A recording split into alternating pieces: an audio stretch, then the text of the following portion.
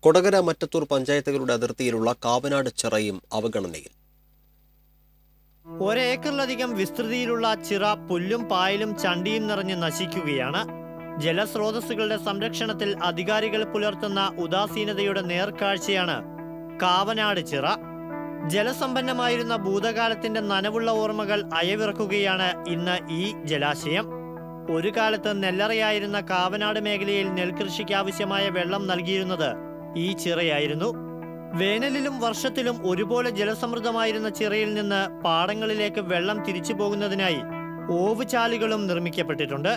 ഈ ഓവുചാലുകളും അനുബന്ധ തോടുകളും നാശോന്മുഖമായി കിടക്കുകയാണിപ്പോൾ. സമീപ പ്രദേശങ്ങളിലെ പാടങ്ങൾക്ക് രൂപമാറ്റം വരികയും നെൽകൃഷി നാമമാത്രമാവുകയും ചെയ്തതോടെ കാവനാട് ചിറ അവഗണിക്കപ്പെട്ടു. ചിറയിലെ ചളിയും ചണ്ടിയും വർഷങ്ങളോളം നീക്കം ചെയ്യപ്പെടാതെ കിടന്നതിനാൽ ഒരടിയിലേറെ കനത്തിലാണ് പുല്ലും പായലും അടിഞ്ഞുകൂടിയിട്ടുള്ളത്. ചണ്ടിയും ചെളിയും പൂർണമായും നീക്കം ചെയ്ത് ആഴം കൂട്ടി സംരക്ഷിച്ചാൽ മഴക്കാലത്ത് കൂടുതൽ വെള്ളം ചെറിയിൽ സംഭരിക്കാനാകും. വേനൽക്കാലത്ത് അനുഭവപ്പെടുന്ന ജലക്ഷാമം പരിഹരിക്കാൻ ഇതുവഴി സാധ്യമാകും. സമീപ പ്രദേശങ്ങളിലെ കിണറുകളിൽ ജലവിധാനം ഉയർത്താനും കുളത്തിന്റെ നവീകരണത്തിലൂടെ കഴിയും.